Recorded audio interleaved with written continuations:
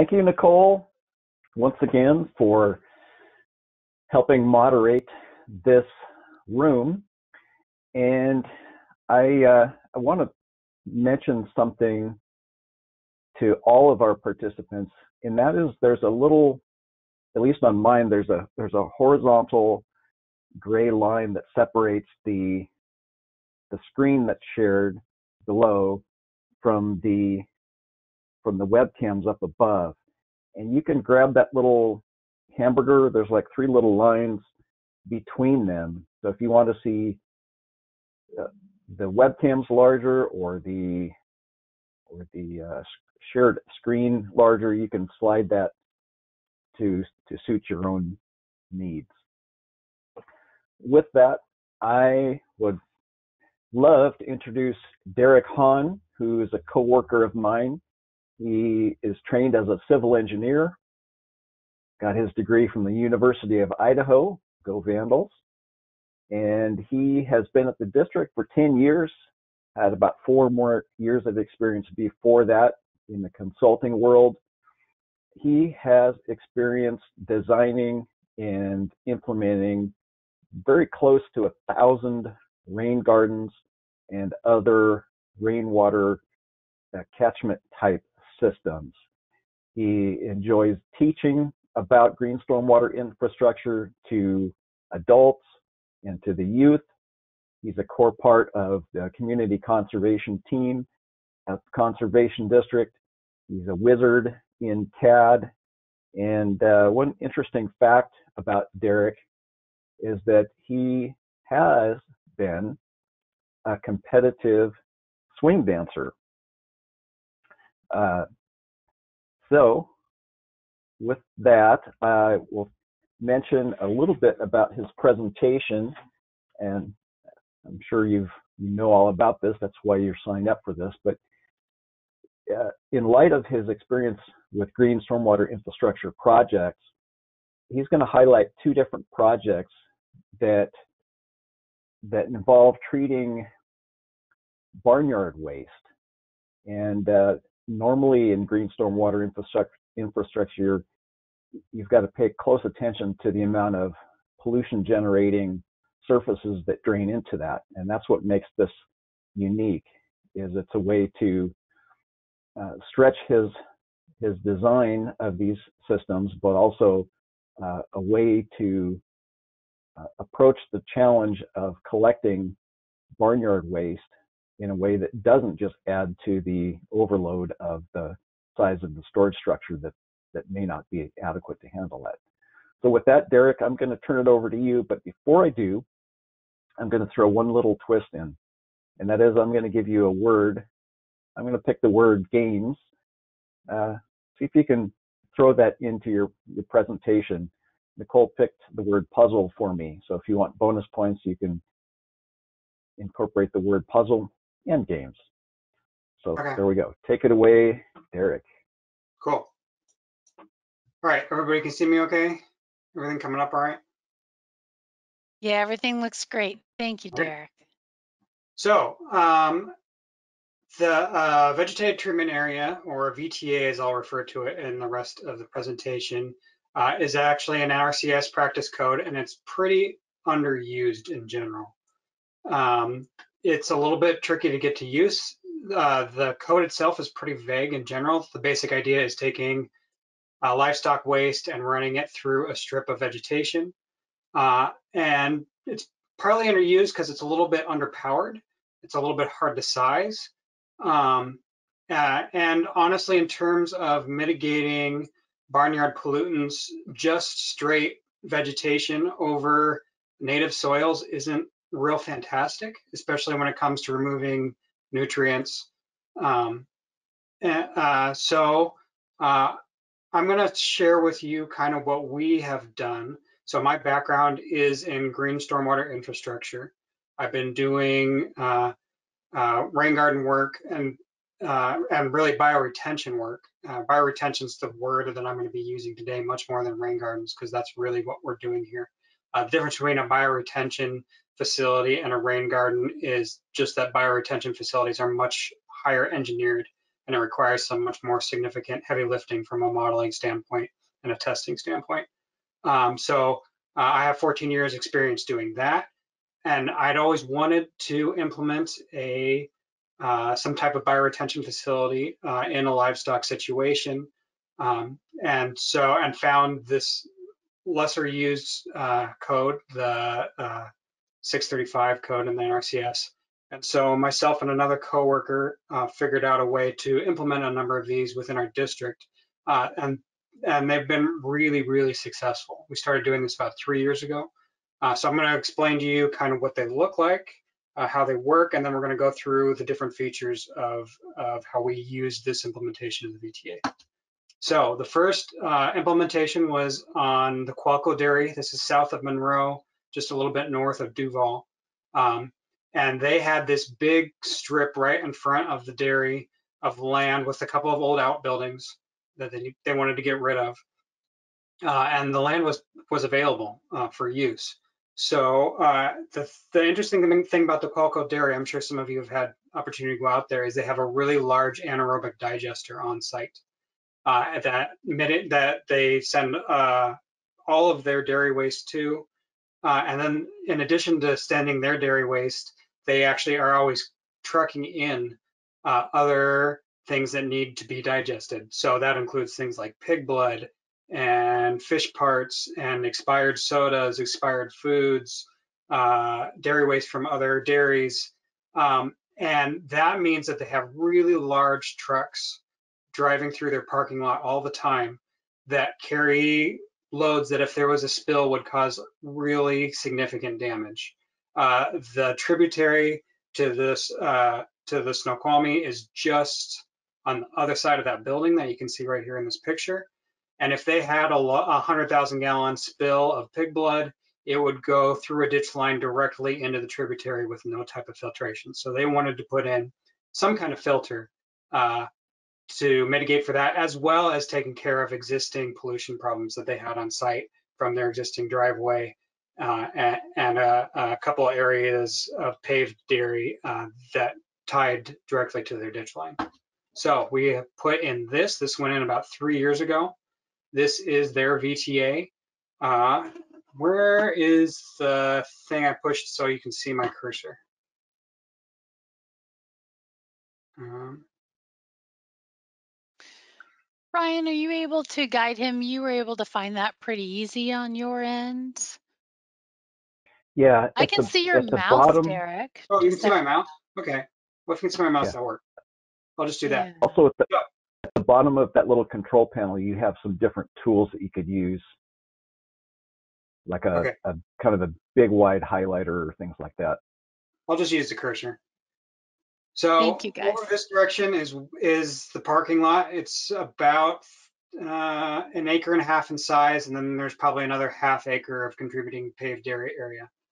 And uh, the trucks come in and out here, and the and the anaerobic digester tipping uh, well is back here. Uh, and so the uh, they put in some catch basins to collect all that water, and all that water comes and discharges to here, works its way through the swale, and then there's an overflow on the other end in case that ever needs to be engaged. So that's the first of the two VPAs, VTAs that we're going to be talking about.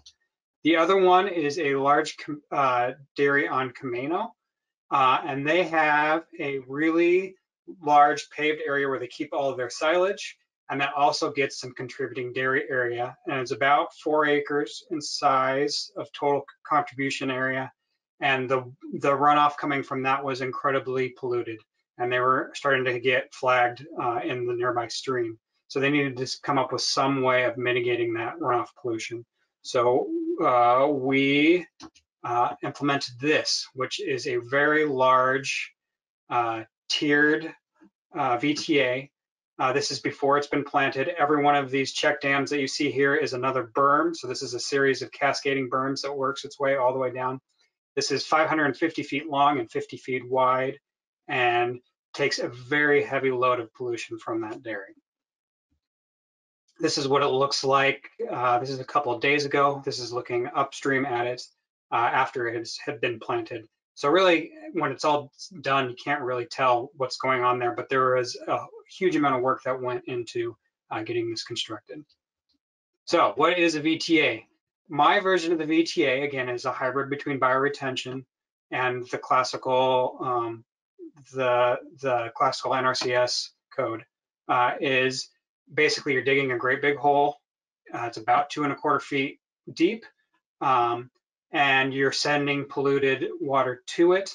And in ideal situations, this water is filtering down into this soil.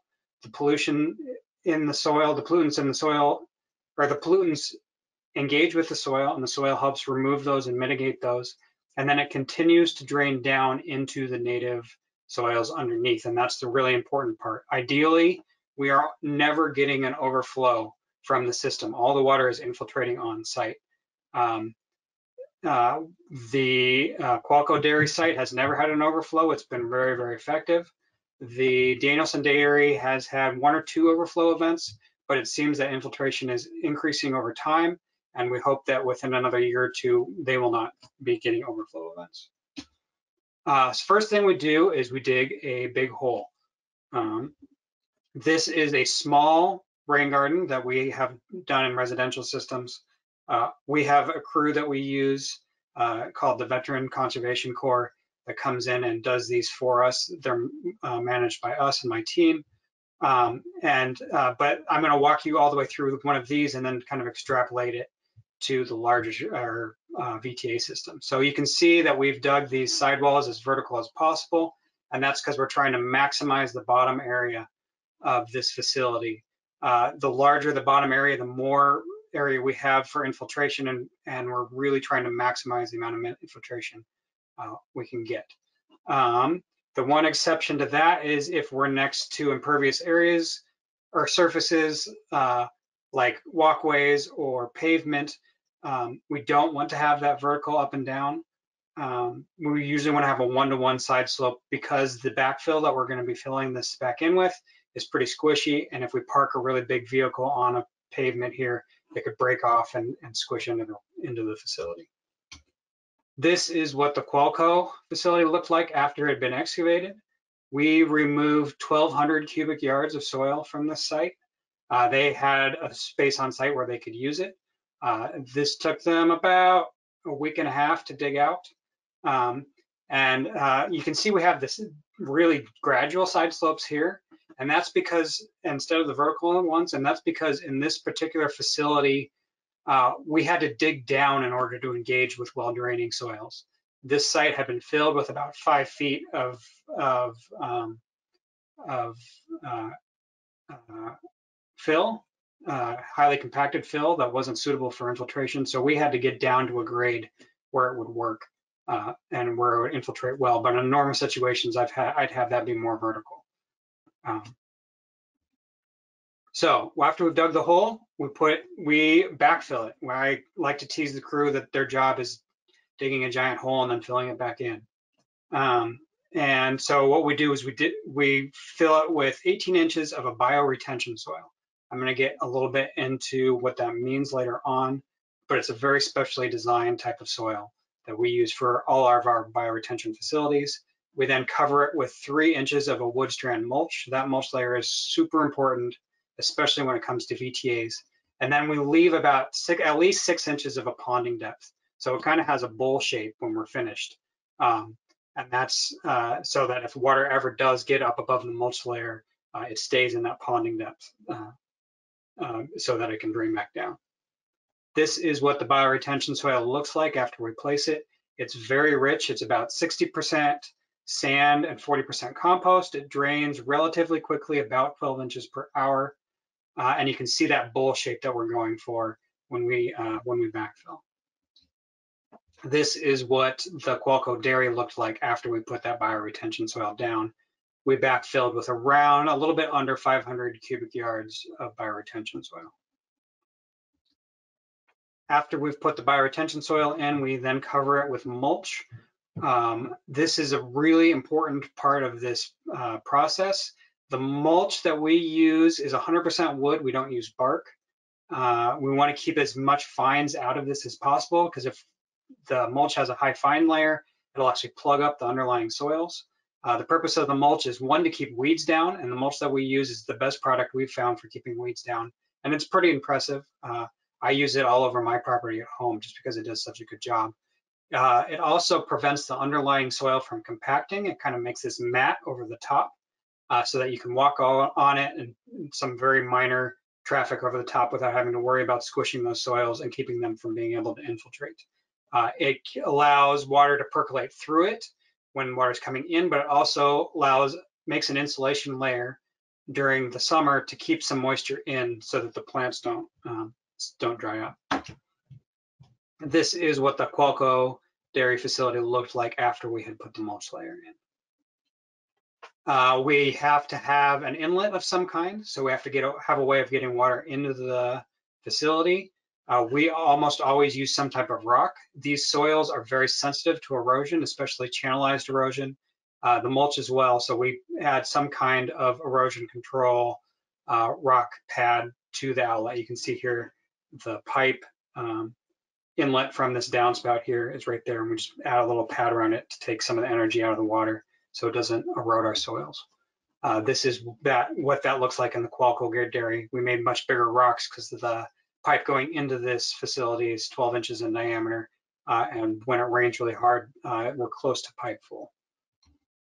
Uh, we have to get have some way of getting water out of the facility in case we get a really bad rain and uh, and the whole facility fills up. So we usually what we do is we just have a weir on the other end uh, where the water can, if it, the water elevation gets high enough, it just flows safely to a location that's not going to cause any flooding damage. Uh, Derek, can I can I interrupt you with a question? Yes, go ahead. We had just uh, two questions come in over that segment. Uh, the first one, um, where do you get the type of mulch or that you recommend? Yeah, I'm so I'm going to cover specifically the type of mulch in a little bit of a later slide. Okay. Uh, but yeah, but that's a really important question because because it's something that we know how to get up in our district because uh, we've been working here for a while. But when we go work in other districts, sometimes it's a little tricky to find the exact right product. But yeah, I will cover that. What okay, was the other? The, the other question was in regard to cost, which you might also cover, um, but it said, um, I would love to know what the cost share and cost to the landowner was for installation, just rough numbers, if yeah. possible. In other words, how were the dairy projects funded? Yes, so both of these that I'm showing you now were done under commission grants, and they were both done for exactly $50,000. So um, that, that was the funding for both of these and and so uh, uh, 100% cost share for both of these projects. Okay, um, tally ho, thank you. Yeah, yeah. This is a so the over the overflow for this system is a special type of drain that we developed at the district called a vertical under drain. And how this works, I'm going to explain this a little bit in more detail later. Uh, but we actually put uh, basically a vertically oriented piece of pipe. It's uh, 18 inches in diameter. In that bioretention, so this is the bioretention soil here, and then we make this this little pocket sock of drain rock here.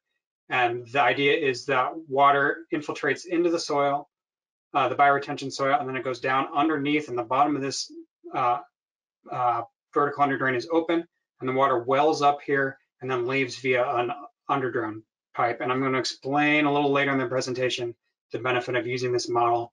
We've used this in probably close to 30 different rain gardens and bioretention facilities, and it works really well uh, if you are struggling with an adequate way to um, to handle overflow for your facility.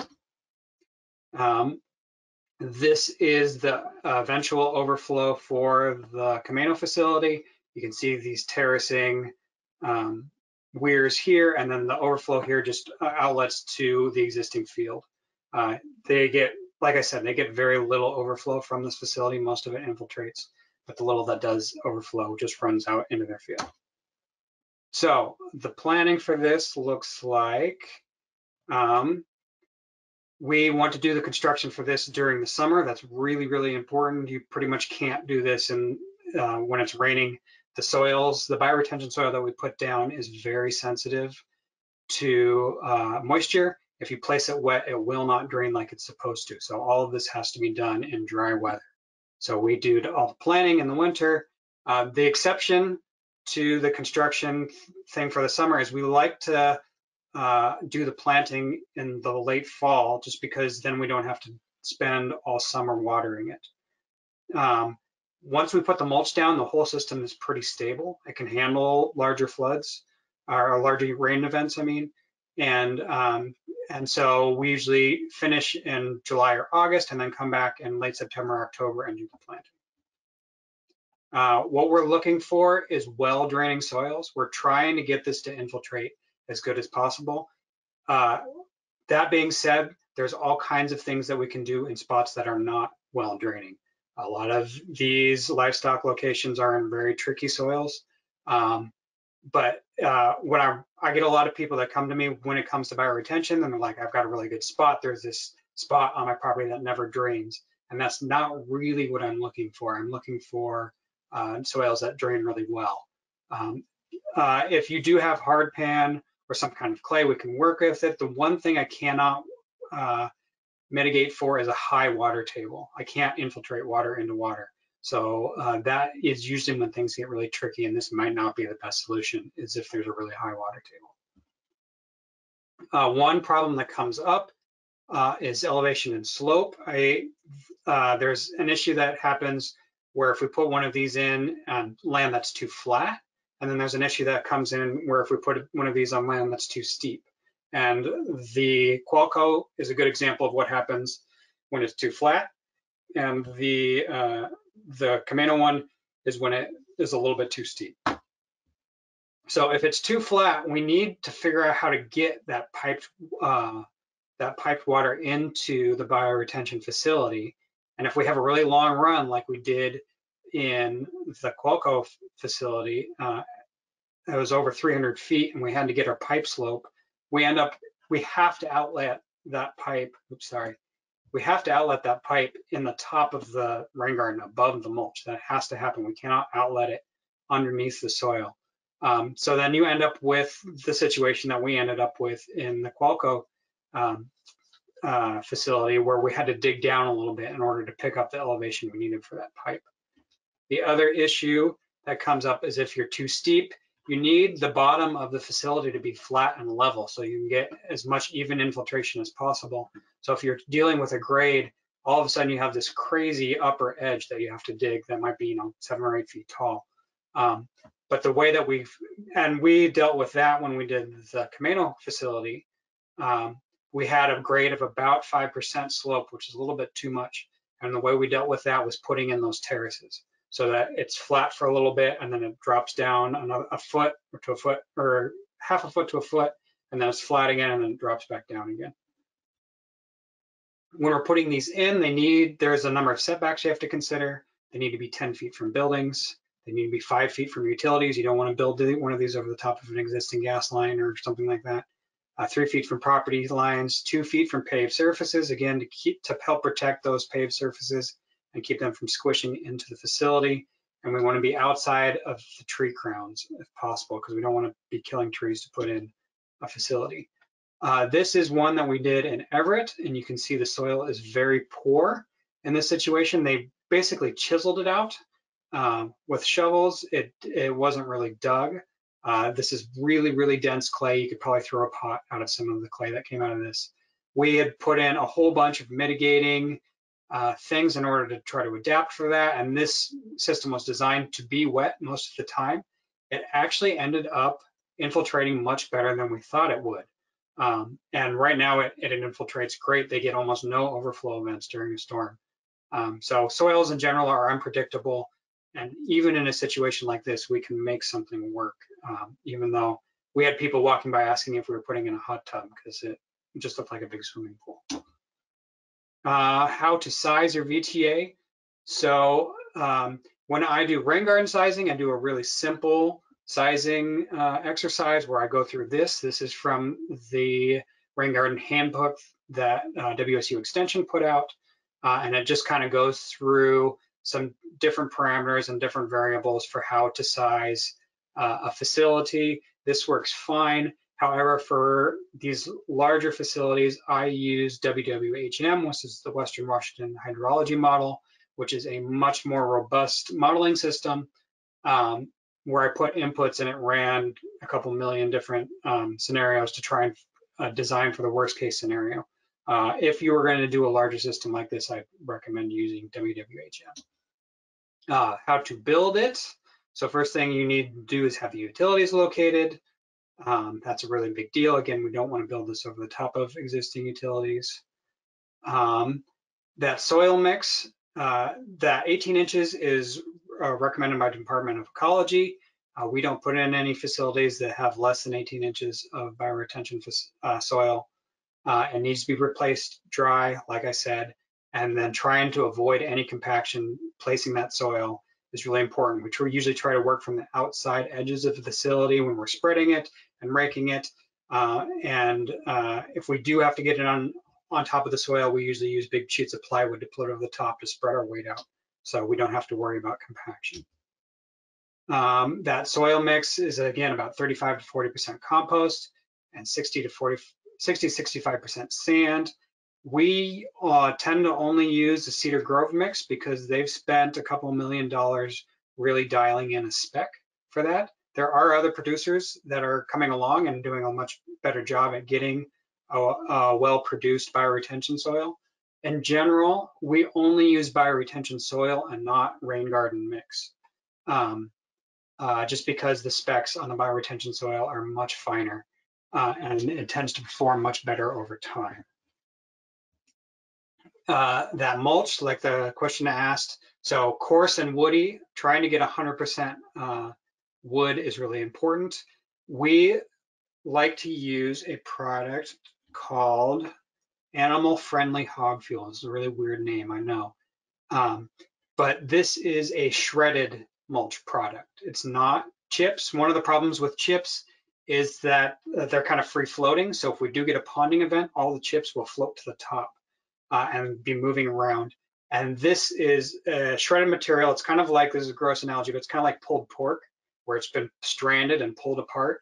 And so when you place it, it holds to itself and makes this mat. And it's got big particles and it's got little particles. And things don't tend to float and things don't tend to move quite as much with this animal friendly hog fuel. Uh, it does a really good job of spreading loads out when you're walking over the top of it. And it does just an amazing job of keeping weeds down. Any weeds that do come through tend, the roots tend to be bound up in the mulch and not the soil. So when you walk over, they're very easy to pull out. Um, this, uh, using this, we started using this about eight years ago and it made a huge difference in the function of our facilities. Uh, the ponding depth, like I said, needs to be at least six inches deep. Uh, and um, if you go deeper than that, it means steeper side slopes, and sometimes that ends up getting really steep uh, if you have a small facility and things start to look a little bit weird. So um, there is a little bit of uh, thought that needs to go in the ponding depth. The ponding depth should not have standing water in it for longer than 72 hours. If it does, the facility is considered failed, and there's probably going to be some mitigating action that you'll have to take in order to go back in and fix that. Um, one thing that we do do occasionally is put in a berm around the down, downstream edge. And that's to try and get a consistent elevation all the way around the perimeter of the facility so that everything fills and overflows all at the same time, um, uh, all at the same rate. And then you can control where the water overflows. So then for your overflow, you'd usually go just cut a little uh, short weir in the bottom edge of that berm. Uh, and then as water gets high enough, it overflows via the weir. Um, we usually use excavated soil from the vegetated treatment area when we do the initial excavation. Uh, usually we're hauling, again, huge amounts of soil off the site, so any of that soil that we can use on that surrounding berm is good. Uh, we cover it in mulch and we plant it with uh, a type of plants that prefer uh, drier conditions. Uh, it's usually about six to 12 inches tall and four to six uh, feet wide. We like to make it much wider than it is tall so it doesn't look like this big wall around the outside. It is kind of graded in a way that's more natural. Uh, hey, Derek. Yes. Derek, this is Nicole. Do you mind if I interrupt you? Sorry, some of the questions are coming in just a hair of a lag time for me, but I've Okay. got two related, just one, uh, just what you were talking to previous to the berm. The first question was how often does the hog fuel need to be replaced? I think when you were discussing that about your pulled pork just a minute ago. Yes. So uh, replacing the hog fuel, usually this is not an issue uh, for most of our residential, suburban, urban stuff.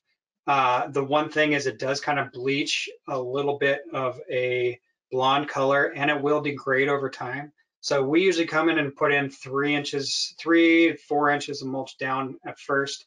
And then I usually recommend that people come in and just top dress it with like an inch of mulch every year it freshens everything up and then it, it helps with that degradation. Um, the VTAs are a little bit different in that we're dealing, the mulch layer and the VTA is even more important than in the other facilities that we do in the more urban settings because it does a really, really good job of screening the solids coming off of the dairy waste. Uh, both of the facilities that we put in produce a lot of solids and you can go out there and you can see them sitting on top of the mulch layer. And that mulch layer acts as a really good screen and it makes it really easy to replace the mulch. So you just go in with a pitchfork, you scoop it all up and the, and the mulch comes up with the solids. You get rid of that and then you just come back and replace that mulch.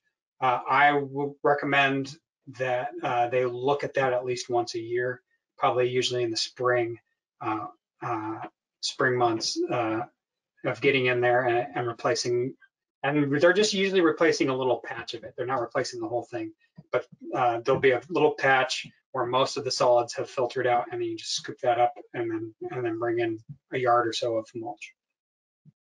Okay, thank you. Two more questions for you there. Um, will this system work for runoff from a livestock heavy use area or paddock? Yes, it will. Yep. The the the Camano facility has a large.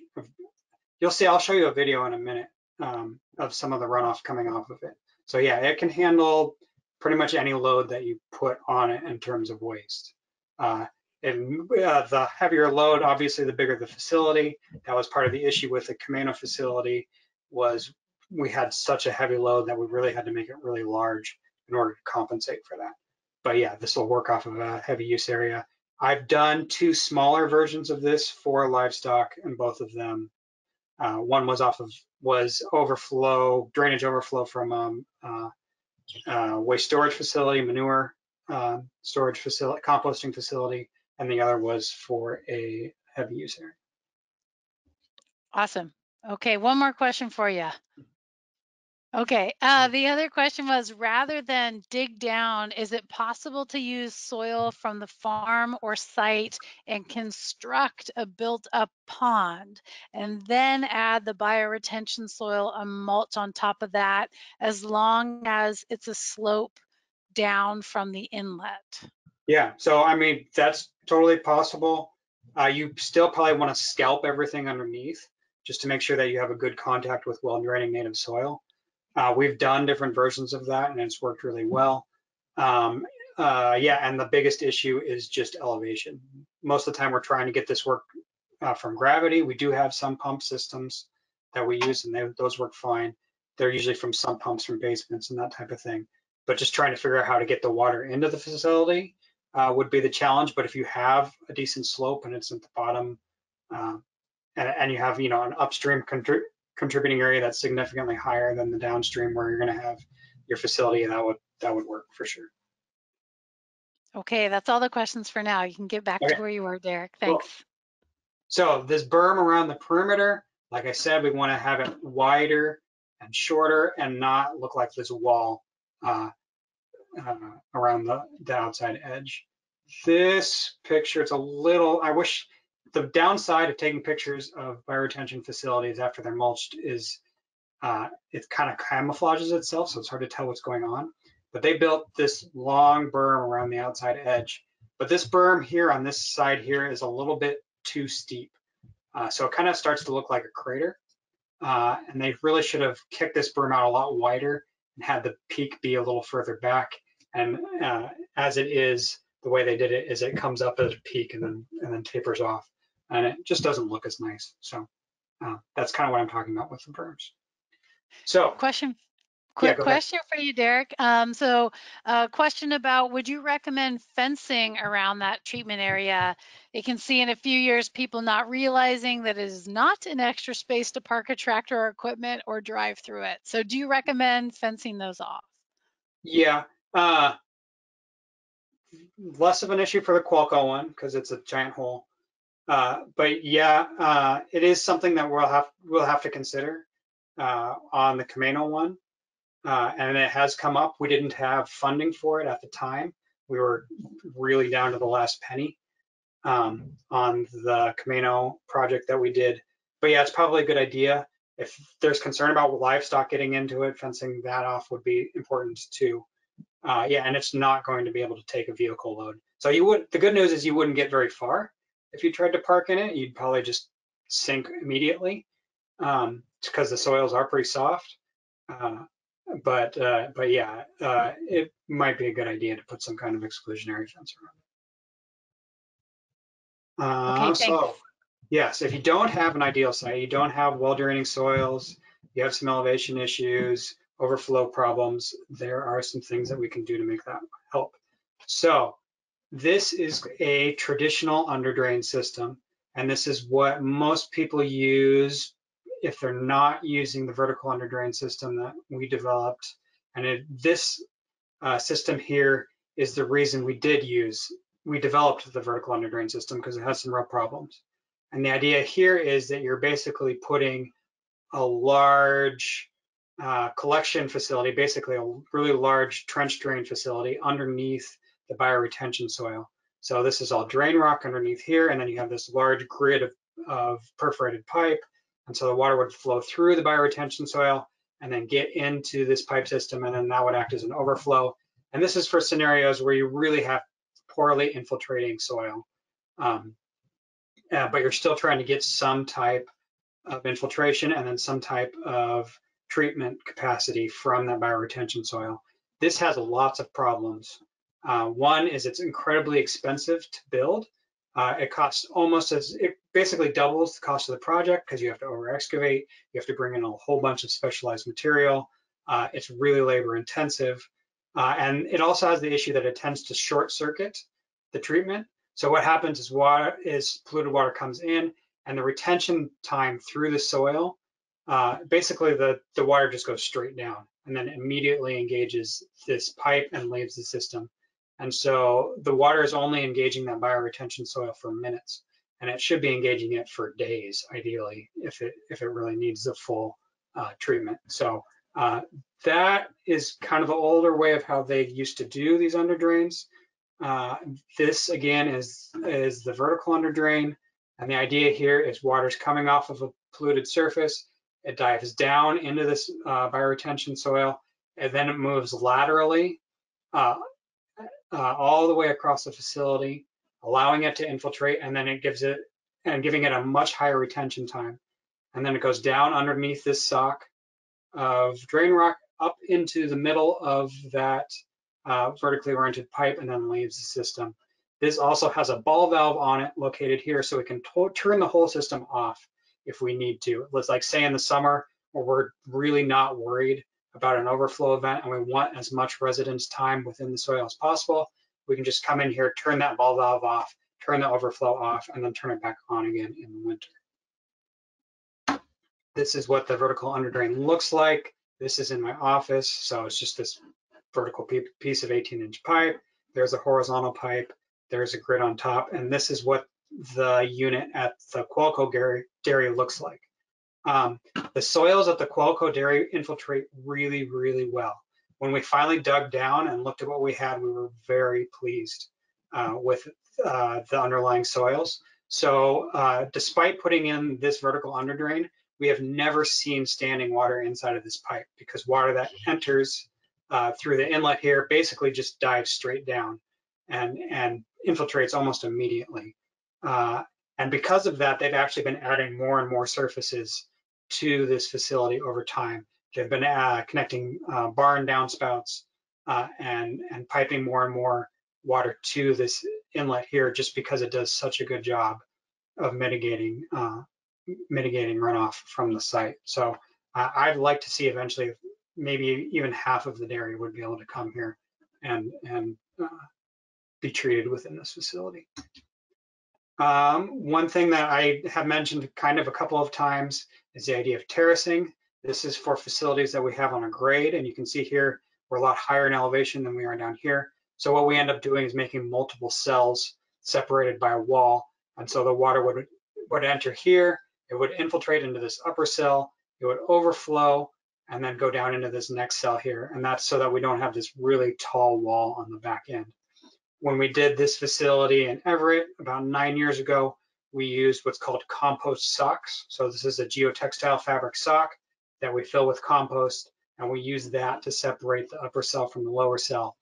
In the uh, Camano uh, dairy, we just ended up using uh, weirs made out of pure pure um, uh, mulch.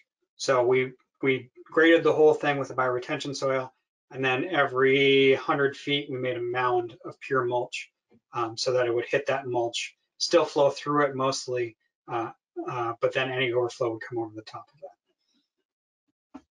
Uh, this is kind of what it looks like when it's done. Yeah, question? Yeah.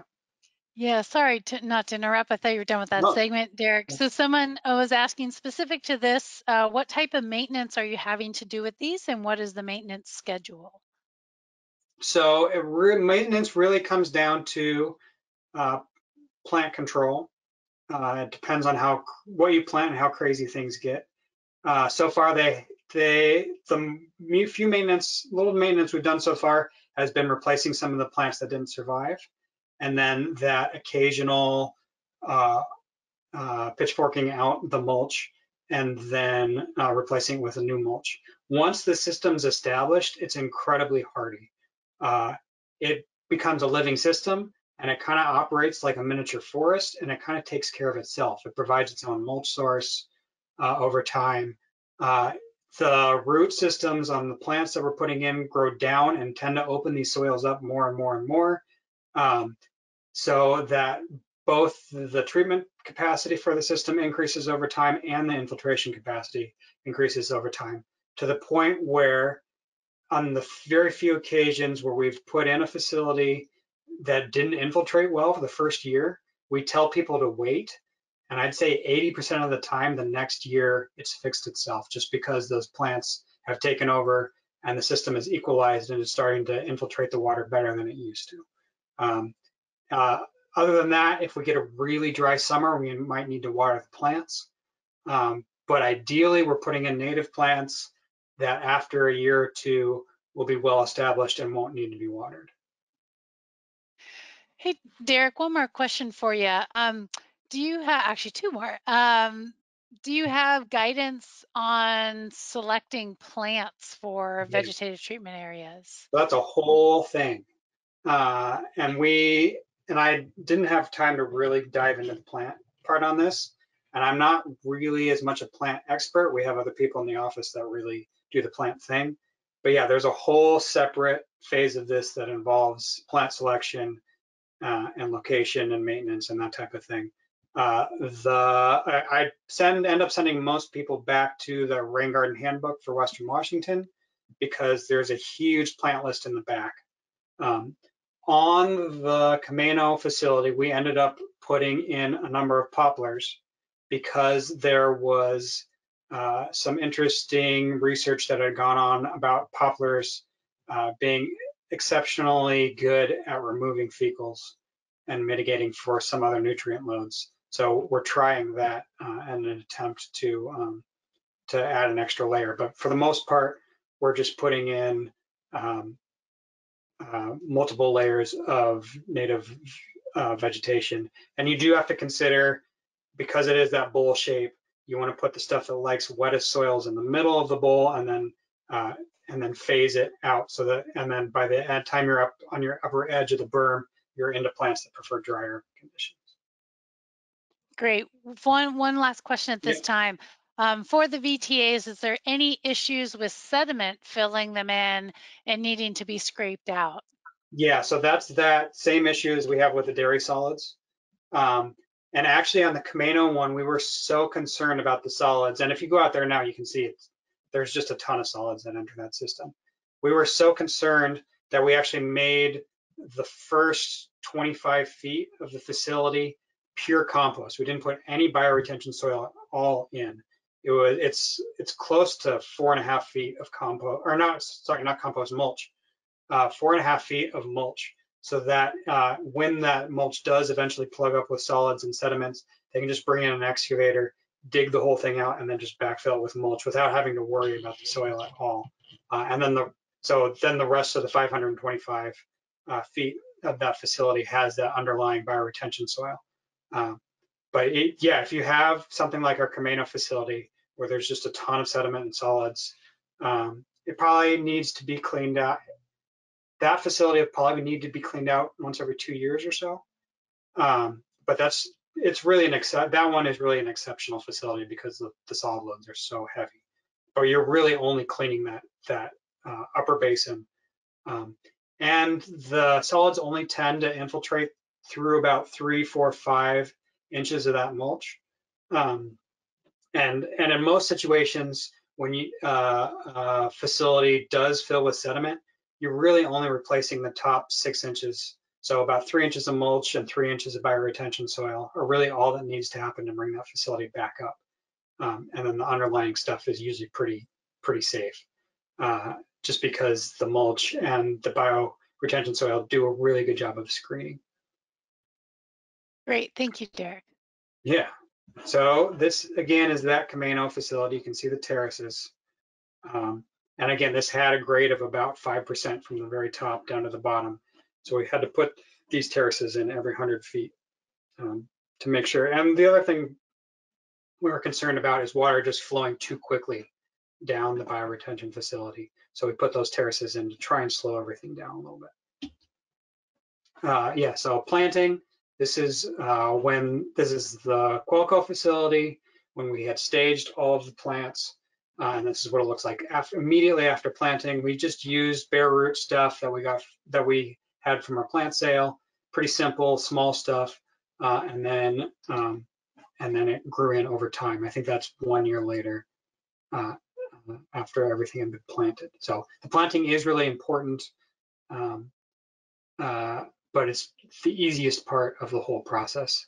Uh, I think it took our crew about a day and a half to do to do all that. Uh, they didn't end up having to water too much because they did it in later in the season in October, uh, and I think they came back next spring. No, they came back next summer and replaced maybe 10% of the plants that uh, didn't make it. But other than that, everything else worked well. All right. Look at that, 50 minutes on the nose. Any questions? Well done, Derek. Yeah, we've got chat box. I will remember folks or remind folks, please put in your questions in the chat box or raise your hand and I'll unmute you and you can ask it direct. So we do have one in the chat box um, that says, what are the permit considerations associated with these facilities? Understanding it may vary somewhat by county, of course. Yes, thank you. That was a, that's a very good question. These were all very easy to get exemptions for under our Snohomish County Code. So we did not require any permits for any of this because they met the requirements of our ag exemptions, which was very nice. Uh, that made things very, very easy. That will depend on what county you're in. Uh, but because we weren't adding any impervious area at all, uh, and all of this could be justified under, um, and we weren't in floodplain, that was another thing. Um, all of this could be justified under the ag exemption. Eric, you made reference to a video earlier. Did, was there a video Oh, yeah, you yeah. wanted to show? Thank you. Yes, I'm going to show this. Everybody see that okay? This is a, so this was, there was a very light rain going on, and this is the outflow from that Camano uh, facility. And you can see the density of the nutrients in that overflow is pretty high.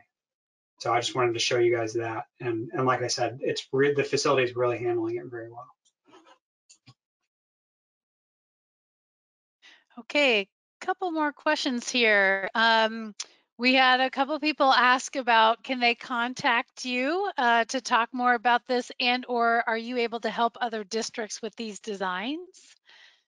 Yes, I, I can definitely be contacted. And yeah, I'd love to partner with other districts uh, on a design on this, especially as, I mean, we have the existing cluster and, and we're also working under uh, some existing stormwater action team funding, which I think is only the, the 12 districts uh, on the west side. But, but yeah, no, I'd love to partner with other people on this, especially if we can find a funding source um, for me to do some design work. And as long as I can fit it into my existing workload.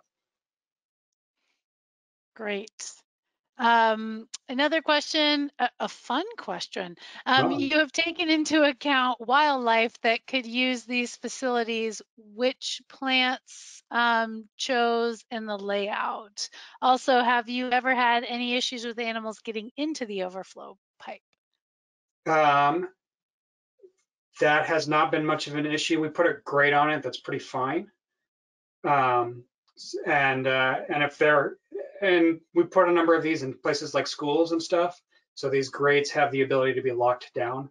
Um, so uh, we would just put a bolt in it so that they they can't get into the overflow pipe. Um, uh, there hasn't been much of an issue with uh, any anim- wildlife or animals getting up into the inlet screens or anything like that. Uh, it's the same system as you'd use in any stormwater facility. Uh, so any of uh, those issues would would be there, um, but it hasn't been much of an issue at all.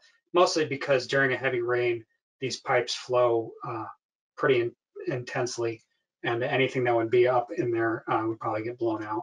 And most animals are pretty good at recognizing that that might not be a good spot to hang out. So no, that hasn't been much of an issue. Um, and then wildlife considerations, we have done a number of fac- facilities that have specifically been designed to be part of wildlife corridors um, and planted for different varieties of birds or insects. Great. What about uh, larger livestock walking into these? Maybe that relates back to the fencing question as well. Yeah, I mean, they'd sink is what would happen. I mean, they wouldn't sink very far, right? Um, uh, but yeah, uh, if I if a cow got into that, it, it probably again it probably wouldn't get very far. It would only probably go down about a foot and a half before it met, some resistance. Um, but uh, yeah, it probably wouldn't do it. Hopefully, it wouldn't do it again because, uh, like I said, it wouldn't get very far. And and yeah, if you really do have, if that really is a concern, some type of fence would probably be a good idea. Okay, folks, if you have any other questions, please put them in the questions box and or you can raise your hand. I'll unmute you and you can ask it. But um, please, if there any other questions, please feel free to put them in. Um, Derek, it looks like at this time, maybe folks are typing, but we don't have any additional questions. Is there anything else you wanted to offer? Um, anything else you wanted to add to the presentation that you had thoughts about? Oh, someone did ask, by the way, um, did we discuss budget and costs for these? Yeah. So if you want to add a little bit of that, that'd be great. Yeah, so both of those larger facilities, like I said, were done for about fifty thousand dollars. Um, uh, and so in terms of we, when we're doing smaller facilities, it's I have a a uh, a much easier time um, doing the the estimates for those because we've done so many of them. Um, usually, a smaller facility in the order of 250 to 400 square feet costs about between $3,500 and 6,000 dollars uh, to put in, um, and then and that could handle something like a like a heavy use area, a small heavy use area or something like that. Um, and then yeah, for these really large dairy facilities, um, I'm pretty confident we could do we could probably do a full dairy with I'd say, you know, five to six acres of uh, impervious area uh, for probably 100 to 120,000 dollars. Both of these just took portions of the dairy uh, when we put them in. Okay, we do have a couple more questions. Um, next one, can you discuss reductions in nutrients or bacteria loads?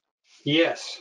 So there's a huge amount of work that's been done on this by the stormwater or um, stormwater center.